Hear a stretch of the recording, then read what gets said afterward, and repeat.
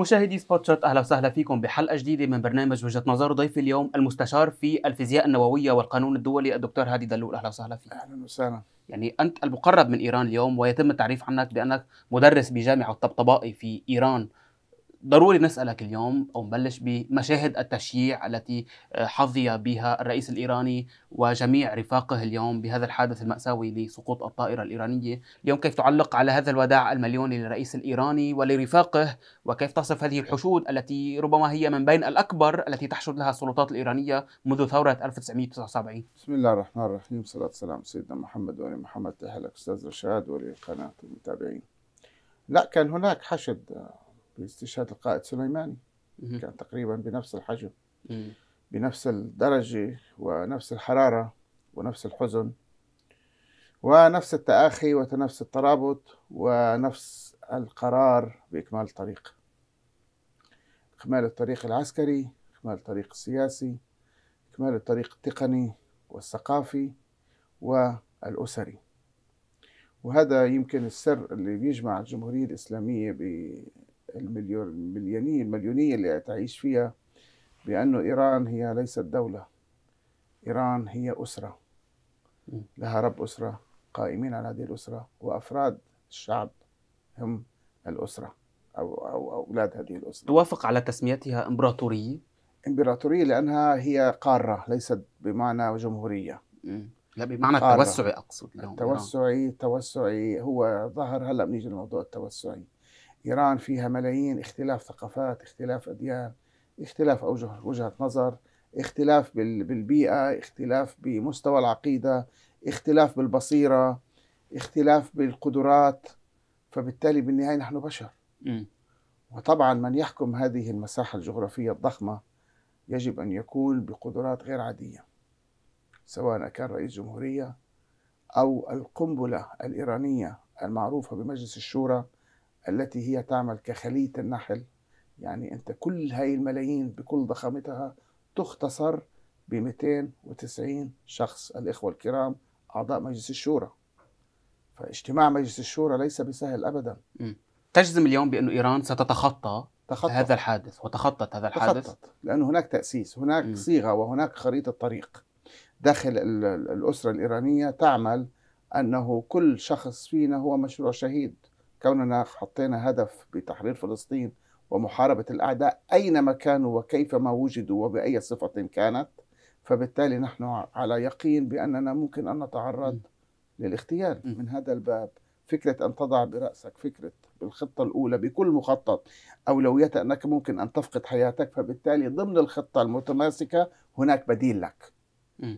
أو على الأقل مجموعة بدلاء ممكن أن يجلسوا ويحلوا المشكلة ويتخطوا دون أن تتأثر المنظومة بغيابك. هل كان الرئيس الإيراني يأخذ هذا الاحتراز؟ طبعا. واليوم يعني بعد ما شفنا مشهد الطائرة اليوم الجميع. أو الثلاثة الطائرات التي سقطت واحدة فقط منها ألا يثير هذا الموضوع؟ شكوك مثل ما يثير شكوك لدى العالم أجمع اليوم سقوط طائرة رئاسية وفقط هي من تسقط. لا يولد لديك شكوك أم تعتبر الموضوع قضاء وقدر؟ لا هلا هناك شكوك طبعا ولكن لا يمكن توجيه أصابع الاتهام أو الخروج بصفة مباشرة إلا أن نعطي قدسية العمل التقني بالمعمل الجنائي كامل الوقت الكافي لإخراج التقرير التقني الذي يثبت من خلال الأجهزة الأمنية. آه، طبعا شكلت لجنة الآن أمنية من عدة مؤسسات أمنية في إيران.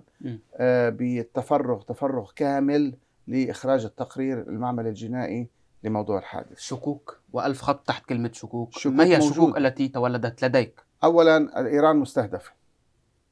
من البداية. والأعداء ينتظروا أي فرصة لضرب إيران بشكل مباشر أو غير مباشر بعد فشل المواجهة العسكرية المباشرة. خذ على ذلك موضوع المشاكل التي حصلت في 7 أكتوبر مع الصهاينة. الضربة الأخيرة ب 300 هدف. المصالحات التي صلحت تمت مع الإخوة العرب بالضفة الغربية بخليج فارس بهرمز للسلام والتي كان العراب لها السيد رئيسي المرحوم الشهيد والشهيد عبد اللهيان وزير الخارجية الذي كان بنفسه آه، سواء الأخ السيد علي شمخاني أو القائمين بالوزارة الذين كانوا يقوموا في عملية المراسلات المباشرة مع الرياض ومع أبو ظبي لتآخي وحل كل العثرات التي كانت معلقة والأوهام التي زرعت في رأس الأسرة المسلمة أن هناك مشكلة داخل إيران مم. تضركم الحمد لله تخطينا مرحلة كبيرة جدا منها وأعتقد أن الرسائل التي خرجت من الرياض واللي خرجت من البحرين والسعودية وقطر والكويت بالتعازي والروح الطيبة تؤكد أنه ليس هناك ضغائن وأنه ممكن أي مشكلة تحصل أن نجلس مع بعض كأسرة مسلمة ونحلها مهما كانت كبيرة. طالما أن ليس هناك تدخل خارجي يضرب ال- الخبث داخل الروح المسلمة مع بعضها. للمفارقة اليوم حينما تسأل أي مقرب من إيران أو حتى المحللين السياسيين الإيرانيين والمسؤولين الإيرانيين أنه هل هذا الموضوع هو قضاء وقدر أم ربما فعل بفعل فاعل؟ لا يجيبونك بأنه هو قضاء وقدر ويمكن هذه المرة الأولى التي يقول فيها مقرب من إيران نعم هنالك شكوك ربما تعرض الرئيس الإيراني لحادثة اغتيال. عزيزي دائما في الحوادث اللي بده يشتغل شغل سياسي ويشتغل شغل إعلامي وعاطفي يأخذ الأمور من قصرها ولا يريد مشاكل. بس من يعرف كيف يعمل المعمل الجنائي من يعرف كيف تعمل الأجهزة الأمنية حينما تأتي حادثة نضع كل الشكوك من الألف والياء حتى البعيدة منها توضع على الطاولة وتوضع ضمن برنامج خطة عمل. ونبدأ خطوة بعد خطوة بكل قدسية عمل ودقة وإتقان أن نبدأ أن نحذف كل مقترح ممكن أن يكون ضعيف وتبتر فكرة أنه ممكن أن يطبق. ولكن لا يحذف كليا يوضع جانبا لأنه ممكن نرجع له. ممكن بعد فترة نلاقي قرينة ترتبط بقرينة أخرى نتيجة ظرف معلومة آه، اعتراف خطأ يخطئ الأعداء. نعود ونخرج المعلومة الأولى التي آه، طرفناها وتبين بأنها لها علاقة غير مباشرة. فكل الافتراضات توضع ونعمل على كل الافتراضات أنها ممكن أن تكون حقيقية. وبالنهاية التقرير النهائي يجب أن يكون متكامل ومن يخرج التقرير يجب أن يكون لديه القدرة الكاملة على إقناع اللجان السياسية بما خرج من معلومات سواء مستندا بحرز أو بإثباتات أو باعترافات بس اللجان الجنائية دعني أسميها واللجان السياسية ربما تتناقض أهدافها اليوم. أبدا. ربما يقال بأنه إيران صعب عليها اليوم أن تتبنى فكرة أنه الموساد الإسرائيلي هو من قام باغتيال الرئيس رئيسي لأنه بهالحالة هي ملزمة بالرد. شوف أولا ليس هناك خلاف هناك نوع من العصف الفكري بالصدام بالأفكار والتي تخدم المصلحة بإخراج تقرير نزيه في النهاية. ليس هناك خلاف بين أجهزة أمنية ولكن يكون هناك اختلاف وجهات نظر اختلاف جدا صحي لأن هذا الاختلاف يخرج الملكوت ال- ال- ال- ال- الإمكانيات من داخل الأفكار تخرج وبالتالي تنقي الاتجاه الذي يتم فيه التحقيق كي لا يكون هناك تسرع أو عشوائيات. لذلك يجب أن يأخذ وقته. أما بالنسبة للصهيوني أنا بقول لك أنا واثق مليون بالمية أننا لن نجد أي بصمة صهيونية لأن الصهيوني تعلم من المراحل الماضية كيف يخفي بصماته بس لكن تشك بأنه يكون هذا. الشيء بفعل عارف. الموساد طبعا هلأ لما بيطلع عندي حد ويرجح في أول العام ب ب بما يعرف بالتبصير ويقول يسمي السيد رئيسي أنه سيسقط بطائرة يعني هذا الموضوع شفت ليش قلت لك في أمور توضع وتهمش ومن دون ما تؤخذ مرة ثانية تقول لي بأنه ربما هذا الموضوع آه، تحدث به العرافون العرف بأنه قد تسقط شو طائرة شو الرئيس شو هال- شو هالمصادفة. شو نزل ملك من السماء وخبره إنه رح نقبض روحه بهالوقت بطيارة؟ يمكن لو قيل بأنه سيفقد حياته ممكن. سوف نشهد على مسؤول إيراني أنه سيحدث فيه كذا بس يسمى وبطائرة؟ معلش يعني ما, ما هذا الموضوع ما بمر. إذا إذا بعض ال- الأطراف ثقافتها مت مت متأرجحة في الوطن العربي مم. تصدق هذا الكلام عندي ما بيمشي. بثقافتي ما بيمشي. من حيث الإعلان ومن حيث أيضا آه، كيف بدأ الحدث اليوم؟ وح- الحادثة بدأ فيها الكثير من الغموض ثم بدأت تتضح الصورة شيئا فشيئا بحكم أنه الأحوال الجوية الضباب آه، من أين أقلعت الطائرة وأين ذهبت والطائرات المرافقة. حادثة سقوط الطائرة اليوم أو تذكرك لهذا المشهد الطائرة اليوم منقسمة قسمين في آه، مكان بعيد جدا آه، صعب الوصول إليه بالسيارة. شفت شو قلت؟ منقسمة قسمين.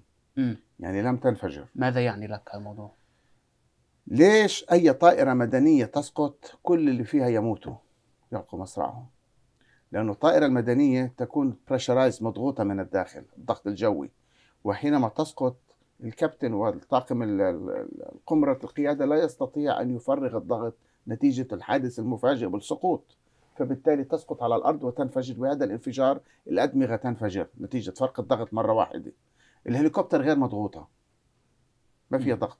وبنفس الوقت لا يعني الارتفاعات على حسب ما فهمنا إنه لم تكن أكثر من 3000 4000 قدم. طيب لما بتسقط الطائرة بهالطريقة هي ويتم كسرها وأنت شفت على الإعلام نصف الطائرة غير محترق. صح. الخلفي يعني على الأقل كان خرج شخص أو شخصين بإعاقات. بس الكل يحترق. م. هنا نضع علامة استفهام. هناك افتراضية أنه ممكن أن يكون هذا العمل مدبر. وكان هناك أحد ينتظرهم على الأرض بمنطقة استطاعوا أن يصلوا إليهم خلال دقائق بعد السقوط من المخربين وقاموا بهذا العمل الإجرامي. لفتني ما قلت لسبب واحد وهو إنه اليوم آه، سمعت أحد المسؤولين الإيرانيين يقول بأنه آه، تواصلنا مع أحد الموجودين في الطائرة وأبلغنا بأنه طيب، ربما يعني هو كان- بمكان لا يعلم بالضبط. أين وربما كان بعد فقد الاتصال به كان لا زال على قيد الحياة هذا يعني أنه لم يمت نتيجة السقوط م. طيب أنا لو حفترض إنه الم- المسنين مثل المرحوم السيد رئيسي والشيخ الجمعة مسنين لربما لم يتحملوا. بس هناك شباب. كيف قتلوا؟ كيف ماتوا؟ أنا لا أريد أن أجزم. أعود وأقول نحن ننتظر التقرير المعمل الجنائي. هلا حتقول لي لماذا تصر على المعمل الجنائي؟ لأن هناك سابقة الطائرة الأوكرانية.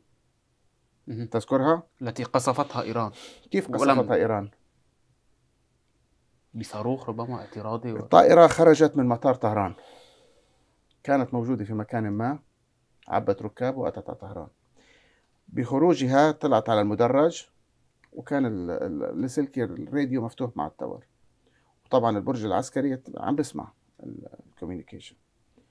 بمرحلة معينة انقطع الاتصال مع الطائرة. وانقطعت الاتصالات الأرضية أيضا بالتليفونات. يعني مبين أنه في حد من برا عم بيعمل نوع من السيطرة على الإشعاعات بإشعاعات بموجات شوش على كل شيء اسمه اتصالات موجودة واستطاع أن ي... مش بس هذا الأمر أيضا دخل على نظام قمرة الطائرة لأنه الطائرة تحركت وخرجت ولا زالت تمشي على المدرج وبلشت تعمل تيك أوف وطارت الطيارة مجرد طيران الطيارة خرجت عن الرادار وتبين مكانها صاروخ باتريوت طب هذا شو يعني؟ هذا يعني أن هناك جهاز مثبت داخل الطائرة هو اللي بدي يعطي الإشعارات ويعطي الموجات. هنا كان ما في حل إلا أنه أصبح هذا جسم غريب وممكن هذا اللي خلاهم ياخذوا قرار وممكن هذا هذه الطائرة أن تذهب إلى مكان ما وتعمل عمل إرهابي بتفجيرها بمدينة شو بنعمل؟ بجميع الأحوال هذه الطائرة أصبحت غير معرفة بس آه، من هي الدول بمقدورها فعل مثل هذا الأمر المتطور تقنيا ودعني أربطه بحادثة كمان السيطرة على الطائرة الإيرانية أو فرضية هذه ليست الفرضية دولة بعينها. السيطرة على طائرة الرئيس هناك الإيراني. منظومة تقنية عالمية متطورة. مم. أنا راح أصدمك هلأ في برنامج من 2010 بس للأسف آه، بالمنطقة العربية لا تهتم بهذه الأمور. هناك موجات تضرب على مركبة تتحرك على الأرض. موجات آه، ليزرية. مم. هذه الموجة تضرب وتنعكس من المركبة على سواء مسيرة أو أو جهاز استشعار. تعطيك كم شخص بالسيارة أو بالمركبة. عدد الأجهزة الإلكترونية الموجودة. الهواتف ممكن أخذ البيانات من الهواتف. الحديث اللي عم بدور يسجل. خلال segment مدتها أربع دقائق أو ثلاث دقائق لغاية ما الإشارة تطلع. ويعرفوا السيارة هي مين فيها. وممكن السيطرة عليها. تقنيات وصلت. إذا عم بيشغل لك chip صغيرة بتنحط تحت الجلد بت- بتعمل لك بلاوي ما بدهم يعملوها هيك كيف. فبالتالي من هذا الباب أصبحت ممكن الإمكانية رغم وجود آه، بعض ال ال الاتجاهات الخارجية بس ممكن أن توظف تلك الأمور لخدمة الصهيوني أو المخرب الذي يمتلك هذه التقنيات. بالتوازي اليوم مع آه، العمل الذي يجريه المعمل الجنائي في إيران، البعض بدأ يحقق من الآن وهنالك تساؤلات مشروعة. اولا ما الذي يعنيه أن آه، يسقط آه، الرئيس الإيراني إبراهيم رئيسي آه، وهو المرشح الأول لخلافة المرشد الأعلى في إيران، هذا أحد الاحتمالات. الاحتمال الآخر هو أن يكون جهاز مخابراتي كبير كالموساد الإسرائيلي كو أو كأمريكا ربما هي من تكون نفذت هذه العملية. لنتحدث عن الشق الداخلي الإيراني. ما مدى إمكانية أن يكون هذا الموضوع ناتج عن صراع داخلي إيراني على العرش؟ ما في لحد الآن أي مؤشرات أنه كان هناك صراع؟ هناك تنافس. م. بس صراع يصل إلى الاغتيال هذا كلام مرفوض. تنافس على ماذا؟ من يستطيع أن يخدم الشعب الإيراني أكثر إنه وصل إلى هذا المنصب. هذا التنافس. ليس تنافس على الأشخاص. ما في ادغان بإيران بصفة إنه أنا عندي مشكلة مع فلان شخصيا. لا أنا مشكلتي أنا ممكن أشوف برنامج رشاد غير مناسب بالنسبة لي. لا أنا أستطيع أن أعطي أكثر. فبنزل بنزل على مجلس الشورى بعمل لجان أنا أحط برنامجي الانتخابي وأشرح كيف سأغير النظام بما يخدم مصلحة الشعب ويحسن العلاقات الخارجية م. إما أن يقبل أو أن يرفض م. بالنهاية كما قلت لك عزيزي عندي 290 شخص أعضاء مجلس الشورى مهمتك تقنعهم كيف بدك تقنعهم هي مشكلتك م. تأتي بعصا موسى بدك تطلع بايا كان حتى لو كلامك أنت قدرت تقنع مجموعة منهم وأنت مش- كقيادة مش مقتنع ما فيك تعترض. مجتبى علي خامنئي هو نجل المرشد الأعلى اليوم في إيران علي خامنئي يقال بأنه اليوم هو اليوم المرشح الثاني أو هو اليوم كمان أيضا أحد المرشحين لخلافة آه، منصب أو كرسي والده. ما مدى إمكانية أو هنالك اليوم اتهامات أو اليوم يمكن شكوك إنه ترمى هنا وهناك إنه ربما يكون مجتبى علي أمين آه خامنئي ربما يكون اليوم آه التيار الأصولي أو التيار آه أو أحد التيارات اليوم في آه إيران هي من بصالحها أن تقوم بهذا الفعل لا لا لا ما ما حدا بفوت بهذا الباب م. العملية ليست بهذه السهولة أن تأتي وتقوم باغتيال لكي تصل إلى منصب هاي مش موجودة في إيران م. هاي مستحيل م. هلا أقول لك كان في تعاون داخلي بقول لك ممكن إذا كانوا كمنافقي خلق م. زي المسيرات اللي طلعت على إصفهان طلعت منهم. بس تعال اثبت انها إسرائيلية. تقصد أن التيار الإصلاحي ربما يكون هو أنا لا المتآمر؟ أست... أنا لا أقول تيار إصلاحي أنا أقول مجموعة من الأشخاص غيبوا عن الوعي للتخريب في بلادهم سواء بتفجيرات أو باعمال اغتيالات أو بأعمال تخالف نظام مصلحة الشعب. م. هؤلاء الأشخاص مقابل دولارات مقابل إجراءات جرت أفكارهم باتجاه أن يقوموا مخربين. م. وهي مشكلة كثير كبيره عم تبرز في عملية حقوق الإنسان. يعني حقوق الإنسان لا لا يخدم بهذه الطريقة. مثل مهسا امينه وغير مهسا امينه مهسا امين وغير مهسا امين الآن أنت ت- تأخذ سيارتك وتنزل إلى الشارع م. وتقوم بارتكاب مخالفة أو لم ترتكب مخالفة. آه، تفاجأت بأن دراج خلفك آه، طلب منك الوقوف إلى اليمين وحرر لك مخالفة وحجز المركبة. لو أنك لست مخطئ تتحداه بالدخول إلى المخفر والشكوى عليه لأنك لست مخطئ. م. أما إن كنت مخطئ فستتشاجر معه في الشارع لأنك لا تستطيع أن دخول المخفر لأنك غلطان ومثبت عليك الخطأ. مجلس الشورى لديه السلطة بتعطيل النظام. لو كانوا هؤلاء فعلا لديهم الحق بما يعترضوا كانوا توجهوا إلى نوابهم بأكثريتهم كما يقولوا أننا كثر إلى مجلس الشورى وطلبوا تعطيل النظام ومن ثم إن لم يقتل نتيجة ينزلوا على الشارع م. بس إنه ينزل على الشارع مباشرة يقتل بالم... بال... بالأبرياء ويحمل كلاشينات على المراقد وي... وي... ويقتل النساء والأطفال هذا رفع راية إرهاب وبالنهاية اليوم من المتوقع إنه التيار الأصولي هو من سيكون آه، بدائرته المرشحين لرئاسة أعود الجمهورية وأقول لا أصولي ولا إصلاحي ولا م. أي طرف من يستطيع أن يخدم الشعب الإيراني هو الذي سيحظى بهذا المنصب. ومن يحوز ثقة مجلس صيانة الدستور الذي اليوم هو آه، بيده هذه العصات الغليظة. ومجلس الشورى. اليوم بالانتقال لفرضية الموساد الإسرائيلي أو حتى عم نحكي عن إسرائيل. آه، امبارح عم بقرأ تصريح لرئيس المعارضة الإسرائيلية يائير لابيد كان عم يحكي مع مستشار الأمن القومي الأمريكي عم بيقول له إيران ستدخل الآن فترة من عدم الاستقرار والتعاون الاستراتيجي بيننا أكثر أهمية من أي وقت مضى. تعول إسرائيل اليوم على سقوط مثل ما عنون آه، آه، يدعوت احرنوت تحطم جزار طهران. هذا ما يتمنوه. هذا ما يتمنوه. وهذا ما راهنوا عليه. ولكن الصدمة ستكون بأن كل هذا الكلام لن يكون لديه محل للتنفيذ على الأرض. وسيجدوا بأن حاج قاسم سليماني كم راهنوا عليه؟ هناك كلام كان يخرج إذا استطعنا أن نقتل قاسم سليماني فإن سوف سوف ينتهي حزب الله سوف ينهار سوريا سوف تدمر مثل هلا وضع السنوار هو الشماعة الآن أربع سنوات ونيف على استشهاد القائد سليماني وأبو مهدي المهندس ما الذي تغير بفيلق القدس؟ هل تراجع؟ جاوبني هل تراجع فيلق القدس؟ هل سمعت بأنه صار في انشقاقات في داخله؟ القيادات أصبح لديها صدام داخل فيلق القدس بالتنفيذ على الأرض. سيد سيد إسماعيل قرآني على قدم وساق أكمل الطريق وكأنه الحاج قاسم موجود. هذا ما أخذوا الدرس من هذا الكلام وهذا أخطر من رئيس الجمهورية. ربما ربما السعادة اليوم تعم إسرائيل بما أنه اليوم هي متوجسة جدا من التفاوض هناك الأمريكي سعادة الإيراني. وهناك خوف. بس إسرائيل تحلم ليلا أو لا، تحلم في الليل بأنه آه، هذا التفاوض الذي يتم آه، العقلاء بشكل في غير مباشر في عمان يتوقف العقلاء في إسرائيل مم. يقولوا لو أن فعلا كانت إسرائيل متورطة في هذا العمل والإيرانيين استطاعوا أن يصلوا لقرائن بمساعدة روسيا أو مساعدة أي دولة وتم التثبيت بأنها صناعة إسرائيلية ما الذي سيحدث في إسرائيل؟ في المرة الماضية ضربنا قنصلية مجرد قنصلية وأخرجوا 300 هدف هذه المرة ماذا سيخرجوا علينا؟ م.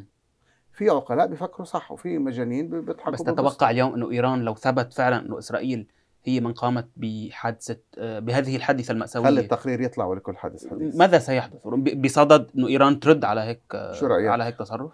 إذا على القنصلية ردينا ب 300 هدف مم. على رئيس جمهورية و- ووزير خارجية ومساعدين شو شو بتتوقع ممكن يكون الرد؟ كان الكل يشارط أن إيران لن تضرب ضربة على إسرائيل ولا تجرؤ أن تتواجه مع إسرائيل وأنهم وجهان لعملة واحدة بعد الضربة أين هؤلاء الناس؟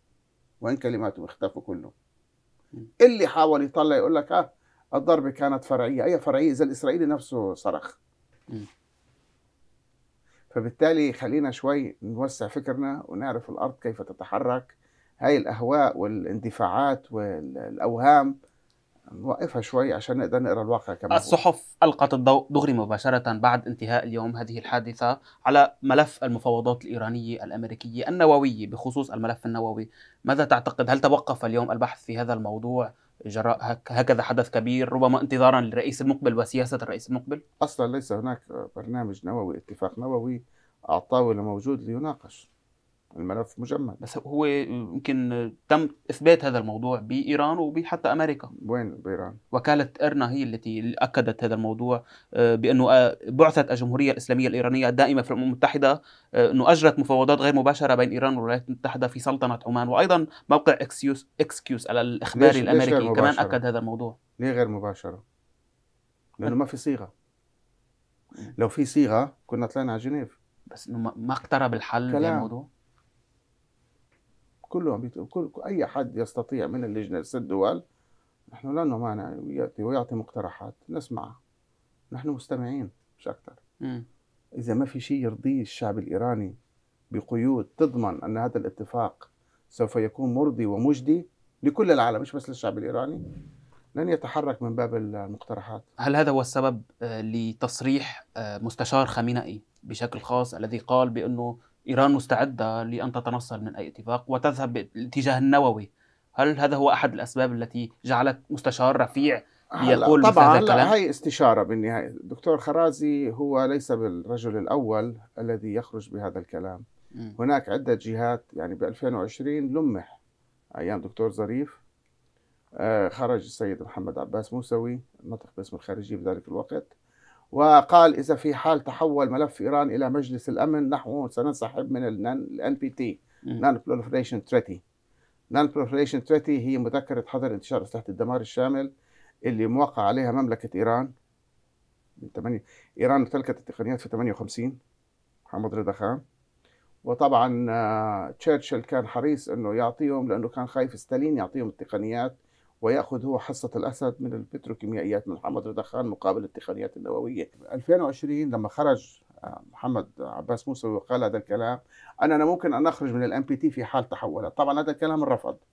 وخلال أكثر أقل من ثلاث ساعات انسحب البيان مم. لأنه طبعا هناك لجان تقنية نستطيع أن نجلس مع بعضنا ونأخذ قرار ونقنع القيادة بعملية رفض طب هذه. الدبلوماسية الغامضة عند إيران تثير الشكوك. بناحيه واحدة وهي إنه أنا أقول بأنه أنا بدي أبعد شكوك آه، إنه السرقة عني مم. وأقوم بكل شيء يؤكد إنه أنا سارق بهذه الحالة اليوم إيران تقول آه، بين الفينة والأخرى بأنه هنالك اليوم م- آه، مساعي لدي أو نية لدي في حال كذا أن أذهب إلى. هذا الموضوع هذه الكلمات ليست رسمية آه.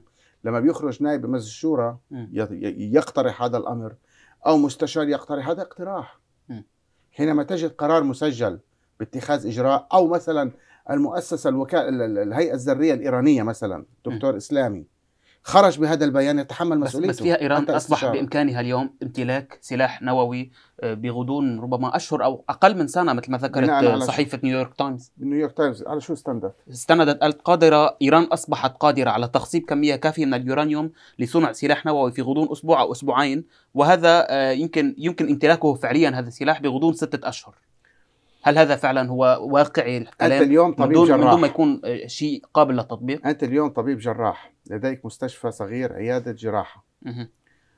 بعيادة الجراحة تمتلك آه، حقيبة فيها 25 مشرط سكين ومقص.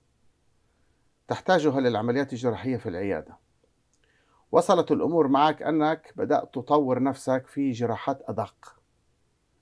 وهذه الأدوات التي تمتلكها لم تعد كافية أن تعطيك المنتج الطبي بالجراحة التي تطلبها فقمت بإجراء شراء وحدية بعض المعدات إلى جانب شراء معدات جديدة بمشارط أكثر دقة ومقاسات أكثر طول.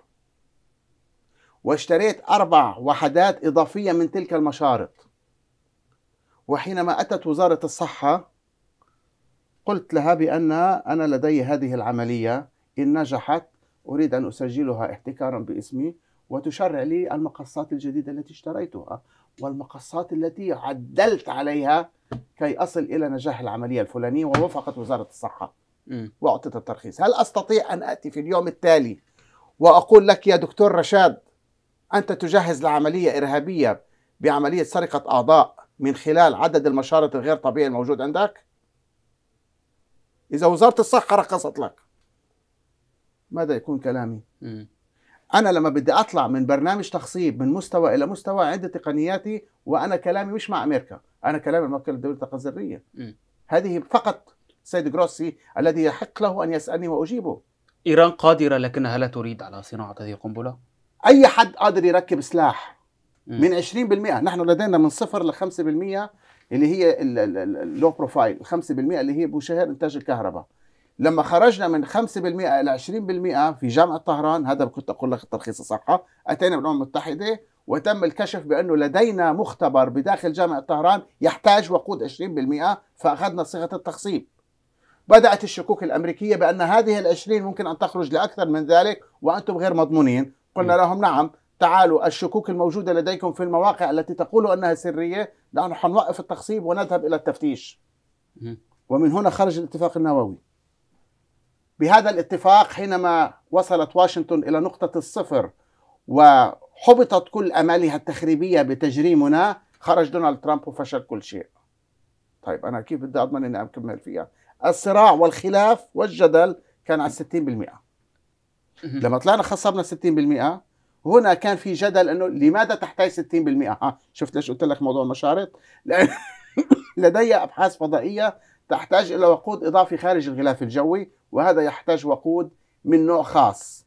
فلذلك أضفنا كلمة على مذكرة ال 60% لأسباب تقنية فعليا نحن نمتلك قنبلة نووية ولكن ليس لأحد في هذا العالم أن يستطيع أن يجرمنا فيها رسميا لأن قنبلتي ليست عسكرية.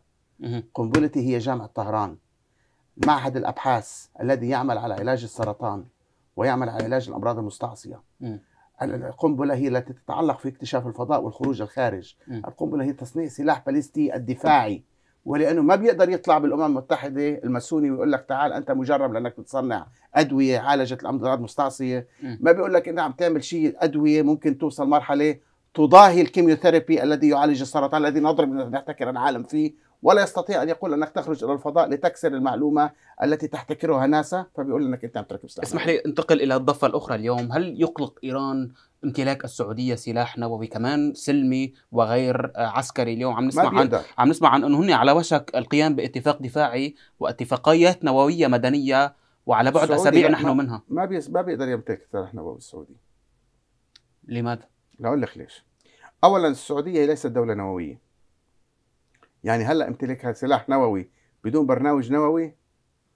أنت يعني لبست قائمة إرهاب بأكملها. بس أمريكا اللي عم تكون الضامنة اليوم ضامنه أمريكا عندها. أمريكا هي خارجة عندها برنامج نووي ما قبل ال NPT بس السعودية عنده قبل. هل السعودية أصبحت أمريكية؟ لما يرفع العلم السعودي وينزل ويطلع مكانه علم أمريكي يقول لك أنا بدي أجيب سلاح نووي على المنطقة. وهون لنا حديث ثاني بس طالما ان المملكه العربيه السعوديه ليس لديها الحق إلا بامتلاك برنامج تقني مدني مراقب ضمن حدود وضمن شروط مثل ما عملت الإمارات. بالضبعه عفوا ببراكه المنطقة الغربية من أبو ظبي. وكمان كان في جدل عليها لأنه كان في اختلاف على موضوع عدد المفاعلات. بغض النظر عن هذه التفاصيل التقنية لهذا الاتفاق لكن لا شك إنه اتفاق ضخم. كيف ستختبر إيران هذا المشروع أو هذه اللي يمكن المبادرة أو هذا الاتفاق الأمني السعودي الأمريكي اللي بيتضمن أيضا غير النووي بيتضمن أسلحة 16 بيتضمن تطبيع مع. إسرائيل. هذا المشروع الضخم والكبير الذي يحول المنطقة إلى وجه آخر. إسرائيل لن تطبع مع السعودية وإذا طبعت حيكون آه، سلك دبلوماسي. خارجي دون وجود سفارة إسرائيلية. م. لأن إسرائيل لن تعترف بدولة فلسطين؟ لأنه اليمني سوف يقصفها في اليوم التالي. وأنا سيقصف السعودية. السفاره الإسرائيلية في السعودية. لا لك ليش. سفارة إسرائيلية بالرياض ها أنت بتعرف إنه كل سفارة هي أرض دولة. يعني هاي أرض إسرائيلية. يعني اليمني لو قصفها لا يستطيع السعودي أن يعترض ماذا يقول اليوم الحوثي أو حتى حزب الله أو حتى اليوم أي فصيل من فصائل آه، الفصائل المواليه لإيران؟ تقول بأنه هذه المنطقة اليوم نحن ضابطي الإيقاع فيها. ممنوع اليوم التحرك نحو إسرائيل أو ممنوع اليوم آه، التحكم بمصير أو اليوم التالي التفكير باليوم التالي ممنوع من دوننا. ها لأنه العملية كيف المنع؟ هنا اللي الكلام. مثل ما شرحت لك إنه في حال وهذا من سابع المستحيلات لسببين. إنه إسرائيل تتجرأ تفتح قنصلية. أول سبب هو فكرة القصف المباشر من أنصار الله والسعودي ما بيقدر ينكر لأنه هي ارض أرض آه، إسرائيلية بالنهاية السفارة أو القنصلية. الأمر الثاني الأمريكي لن يسمح لأن التجربة الفاشلة في آه، التطبيع كانت كافية لواشنطن أن تعرف بأنه آه، صفقة القرن هي نصب على نتنياهو. كي يستطيعوا أن يخرجوا كل هذه الأموال دون أن ينتبه الصهيوني أنها تسرق لحساب أمريكا. يجب أن نفتح موضوع حل الدولتين آه، والتطرق إليه اليوم ما في دولتين. قبل نختم هذه الحلقة ما في دولتين.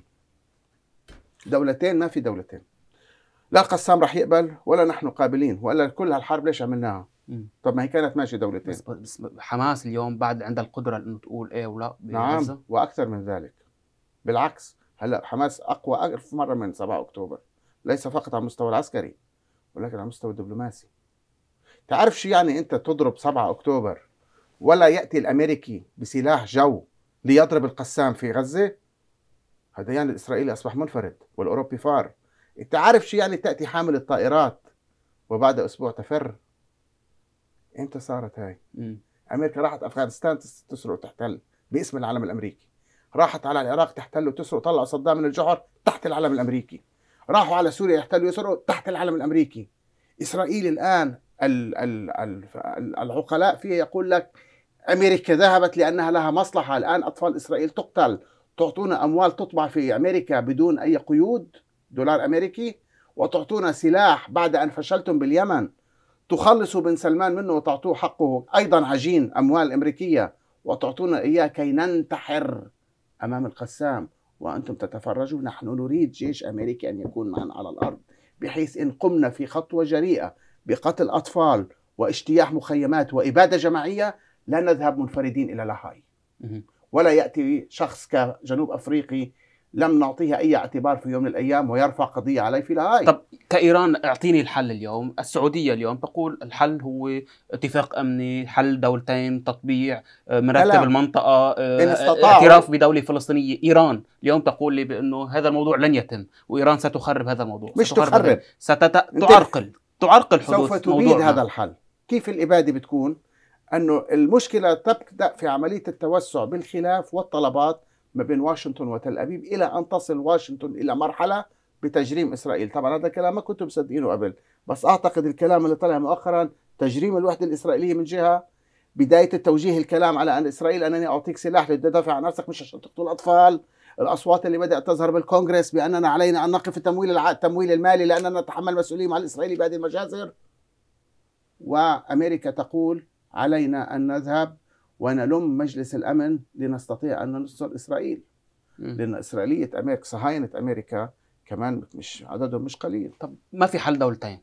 ما رح تستمر. وحل دبلوماسي ما في. هذا الحل اليوم اللي تعول عليه الدول الحل. الوحيد الذي حلها كايران اليوم ماذا إبقاء المنطقة بهذه لا. الدائرة من الصراع وهذا البركان المتفجر. البركان المتفجر سوف ينهي الصهيوني وليس بقرار محور مقاومة فقط. هذا سيكون قرار بالإجماع. من لا يريد أن يحرر فلسطين سيقف متفرج من بعيد. دول خليجية تريد ولا لا تريد؟ دول خليجية تريد. تحرر ما هي تريد تحرر أن تحرر فلسطين دول لكن ليس الخليج بالطريقة التي دول تحررها انت الخليج تريد أن تخرج باستثماراتها وبتروكيماوياتها دون شريك أمريكا أو أي طرف آخر وأن لا تكون متورطة ولا تتأثر الأنظمة الأمنية الداخلية فيها تحت أي ظرف من صهيوني ولا غير صهيوني. م. لا يهمها أي شيء آخر وهذا حق ما لنا فيه نحن.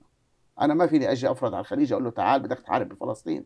ولكن كف أيديك عن الفلسطينيين. م.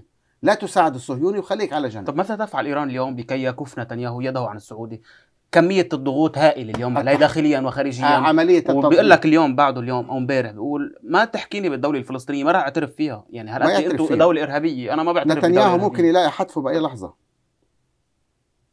الآن الورطة اللي ورطها حماس للقيادة الإسرائيلية كبيرة بالقبول بالهدنة لأنه عمل شرخ ما بين الصهاينة الذين يقولوا لا يمكن أن نبقى يجب أن نخرج الأسرى ونقبل بهذه الهدنة مم. والطرف الآخر المتشدد الذي يقول لا أنت إن دخلت معه بهدنة أنت تفتح باب له أن يرتاح ويبدأ ب 7 أكتوبر جديد هذا الصراع داخل المجتمع الإسرائيلي سوف ينجر فجر قريبا أجد نفسي أفتح ملفات ضخمة أنا وياك لكن باختصار كيف يكون سيكون اليوم التالي بعد الحرب في غزة اليوم نحكي عم نحكي إنه آه، ربما قمة المنامة إسرائيل اقترحت إنه يكون في قوات في ربما. ليلة وضحاها إسرائيل سوف تكون منعزلة عن كل حلفائها والسفارات الإسرائيلية سوف تصرخ بالخارج وربما.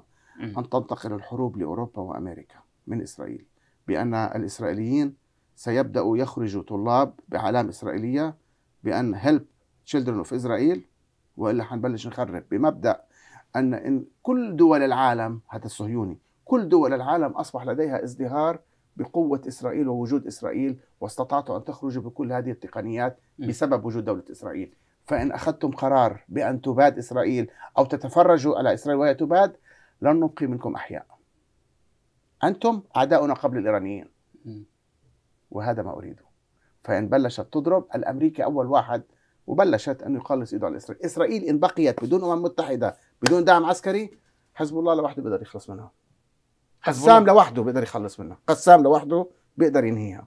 طب هذا هذا هذا الموضوع معروف إنه بعيد المنال اليوم. مش بعيد. بهذه بعيد الإدارات قبل 7 أكتوبر. وبهذا اليوم قبل الحشد 7 وبهذا. التضامن مع إسرائيل. قبل 7 أكتوبر. ما فيش تضامن. قبل القوى العسكرية طيب عزيزي، بهذا السلاح. الجو. إسرائيل مشكلتنا معها حقيقية كانت ممكن تكون كبيرة لو عنده عقيدة استشهاد. مم. ممكن أن يقاتل لآخر رمق. أنا معك كانت حتكون حرب طاحنة بس هذا شخص ما عنده ما عنده مبدأ. أنا لا أستبعد أن تأتي فئة إسرائيلية في يوم من الأيام يتواصلوا مع حزب الله ويقولوا نحن نثق بكلام السيد نصر الله قال عودوا إلى بلادكم. أمنوا لنا معبر. إسرائيل لا تريد أن تخرجنا. مم. أمنوا لنا معبر عن طريق جنوب لبنان ونحن مستعدين أن نفر. شو بيكون موقف جيش الدفاع أنا هذا لا أستبعده مم. فأعود وأقول لك عزيزي 7 أكتوبر غيرت خارطة الطريق بالسياسي كاملة لم يتوقع أحد ولا حتى نحن أن ممكن جيتيرش يقف في موقف هذا الموقف لم نتوقع أن حامله الطائرات تدخل وتخرج بس هذا شيء هذا بس هذا شيء لا. يغير بالواقع اليوم غير. في جسر جوي موجود في كلمة عليا ممنوع إزالة أو ممنوع حتى تهديد أمن إسرائيل وليس ينفذ. تفكير بإزالة ينفذ إسرائيل كلام هل يمكن. ينفذ خلي اللي عم بيطلع هاي المقترحات يجي ويساعد إسرائيل على الأرض. طب إسرائيل اليوم متروكة بهذه منفرد. الحرب الاستنزاف تقول؟ منفرد. مطولة الحرب؟ ما راح تطول لأنه لوحد كل ما تقلصت الخدمات أعود وأقول لك إسرائيل سوف تترك المنطقة وتبدأ صراعها لتعيد أمريكا إلى المعركة. مم.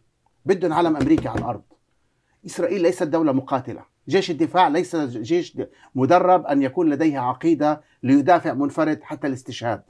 فبالتالي هو يحارب بالوكاله فان انتهت الوكالة انتهى الصهيوني اليوم ألا تخاف أو تستبعد فرضية إنه اليوم أن يقوم الإسرائيلي بهجمة مش على أوروبا وامريكا على حزب الله اليوم. الذي يشغله ويساند, غزة منذ ما- فترة ما- بعيدة. ما, ما لا يؤخذ بخيز التنفيذ هناك جبناء في إسرائيل قيادات عسكرية عالية يعتبروا أن ممكن المتجددين يأخذوا قرار ويعطوا قطعه عسكرية أمر أن تخرج بطائرة وتضرب. هي م. أكثر من مسيرة تستهدف سيارة وتمشي ما في أكثر من هيك. اليوم الج... محصورة الجبهة اليوم. عم نسمع عن التصريحات التي تقول يجب إنشاء منطقة أمنية يبقى فيها الجيش الاسرائيلي في جنوب لبنان. هذه دعوات اليوم وهذه اللهجة المتزايدة والمتجددة أيضا بأنه يجب أن ننفذ ضربة كبيرة وواسعة إلى حزب الله اليوم. عندنا سكان بالشمال اليوم تتمنى- هاربين إلى أمريكا- وسط اسرائيل ماذا سيفعلون؟ أمريكا تتمناها. تعرف ليش؟ إذا في حال تهور الإسرائيلي بضرب على حزب الله وقامت إيران أو حزب الله بضرب صواريخ دقيقة واجتياح على على الجليل أمريكا ستخرج بكل بساطة وتقول أنتم أخذتم إجراء دون أن تنسقوا معنا مثل ضرب القنصليه مم. يعني جربوها بالقنصليه ونجحت الفكرة الأمريكية اننا تملصنا ومرت ال- الأمور فهذه المرة صداع مع حزب الله أنا مش لست مستعد كأمريكي لن يعطي الغطاء الأمريكي لا، أو لن يعطى سيجرب. نتنياهو سيجرب نتنياهو مش يعطيه مش بس سيجرب نتنياهو أن هذه الضربة غير موافق عليها ونحن لم نكن. بده يحمي نفسه الأمريكي. إيران عشان ما يكون بك أهداف. حيطلع ببيان يقول لك أنا لم أكن علي أي علم بهذا. ختاما هيك قلت لي إنه إيران اليوم مشروعها هو إزالة إسرائيل. محور المقاومة اليوم محور المقاومة. محور المقاومة. ما هي إيران هي لا. الر- الرأس ما الأكبر شيء في ما هذا في شيء اسمه رأس. في شيء اسمه خمس أصابع ليد واحدة. أنت لما تعمل قبضة من فولاذ. ما فيك تقول أي إصبع كان أقوى من لي الآخر. اليوم بالخلاصة إنه هذا الزمن انتهى الذي نقول فيه إنه إسرائيل ممكن أن تعود اليوم إلى قوتها وإلى عظمتها. طبعا. تقول لي إنه اليوم بدأ الموضوع يتقلص. تقلص هي لحظة الصفر النتيجة. الآن لديك مبنى استطعت بالعشر قواعد الأساسية الركائز أن تهريها تهري الإسمنت اللي فيها. مم. طب متى لحظة الانقضاض؟ ها هنا تأتي العملية من أين ستبدأ؟ من أي زاوية الانهيار؟ لأن كل القواعد أصبحت مهترئة. كل القواعد اللي بنيت عليها دولة إسرائيل مهترئة. ممكن تكون عملية تهيج إسرائيلي بقرار أهوج مثل ضرب لبنان وتفتح المعركة. ممكن أن تكون الآن تخرج بسوريا وتأتي بحق الرد ويبدأ بالضرب. ممكن الروسي يبلش يعطي معلومات. ممكن الحرب تروح لأمريكا. وإذا راحت الحرب لأمريكا وثبت أن إسرائيل وراء عملية التخريب والهيجان والربيع الأمريكي في الشارع. أمريكا ستبدأ. تقول نحن نطالب بإسقاط دولة إسرائيل من الأمم المتحدة. ليش تستغربها؟ أمريكا لم تعد تستفيد من إسرائيل اليوم. الكونغرس يقول إن بقي برميل بترول واحد خارج السيطرة الأمريكية ممكن أن نساعد إسرائيل كي أحصل عليه. وهم بيحملوهم هن ببلادهم ويرجعوا يرجعون على بلادهم. شو الحل؟ يخلص منه جوا طب ما بالنا عم نحكي اليوم عن يعني عملية تطبيع. يعني, يعني كلام لا ما في كلام تطبيع تطبيع عم بتضره للأمريكي لأنه كل البتروكيماويات مربوطة بالدولار فلما تطبع وجربوهم من فترة معناته راح يحط إيده على. كل شيء لأنه هاي أرض الميعاد باختصار. إيران هي ستكون البديل عن إسرائيل في المنطقة فلسطين هي ب... حتعود الأمور لأصولها. الشعب الفلسطيني هو من يحكم فلسطين مش إيران إيران سوف تساعد فلسطين ممكن أن تقف على إجريها ومش إيران محور طب المقاومة. اليوم نتحدث عن يمكن عن, عن كيان أكثر. عن كيان اسمه إسرائيل. ما في كيان. هو من يبسط نفوذه ما بالمنطقة. في خلق هاي انتهت. من 2011 بلش إيه، الانهيار من سيكون البديل. الفلسطينيين. ولكن هنا صراع وهنا نقطة جدال. مم. من من الفلسطينيين سوف يحكم فلسطين؟ هذا هذا ملف آخر فتحت علي فتحة كبيرة. هاي مشكلة. أشكرك جدا. لذلك معنا. أنا إحنا هلأ طلبنا شغلة أنا شخصيا طلبتها. إنه نعمل مخيم يعني يمكن سوريا أنسب مكان. نعمل مخيم كبير. مم. نجيب فيه صفوة من الشباب من مخيمات لبنان. صفوة من الشباب مخيمات من الأردن فلسطين الأردن وفلسطينية سوريا وفلسطين ونبلش نخليهم يتعاضدوا ويتعرفوا على بعض. مم. كي تنخلط ثقافة 70 سنة من الغربة. أنت عابر للحدود هيك عم تحكي عن وين مبدأ الدولة اللبنانية ومبدا ال- لا ما أنا مشان هيك الحفاظ على على السيادة لذلك اللبنانية. اخترت سوريا لأني أقدر أتفاهم مع القيادة السورية إنها تأمن لي مكان. خصوصا إنه هذا عمل ممكن برعايه الامم المتحده مش عم بعمله فردي. يونيسف ممكن تتبناه. أجيب فلسطينيين يبقى مش سلاح. آه فكرت سلاح. لا يتعرفوا ثقافيا. الانخراط الثقافي عشان لما يفوتوا على فلسطين بعد التحرير إن شاء الله ما يستهجنوا بعض. ما يصير في صراع على الوجود. اقترب ذلك الموعد. إن شاء الله. بقول لك مبنى منهار إسرائيل هي مبنى منهار بالقواعد. بأي لحظة أنت ما فيك تراهن متى سوف يسقط؟ من اي من أي قاعدة سوف تبدأ بس ممكن تراهن خلال ساعات المبنى حيكون على الأرض. المستشار في القانون الدولي والفيزياء النووية الدكتور هادي دلول شكرا لوجودك. أهلا وسهلا. مشاهدي Spot Shot هيك بنكون وصلنا لختام هذه الحلقة. بتشكركم على حسن المتابعة وإلى اللقاء.